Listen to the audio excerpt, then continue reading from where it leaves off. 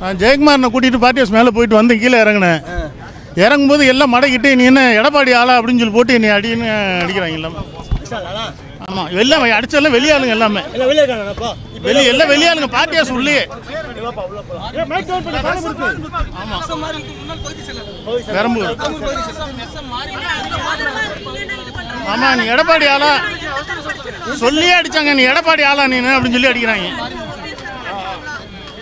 என்ன ஜெயக்குமார் கூட வர்ற? நீ என்ன எடப்பாடி ஆளா? ஆ? அப்படின்னு சொல்லி எல்லாம் ஆளுங்க அடிக்கிறாங்க. நிறைய பேர் எல்லாம் வெளியாளுங்க ரவுடி சும்மா இருக்காங்க.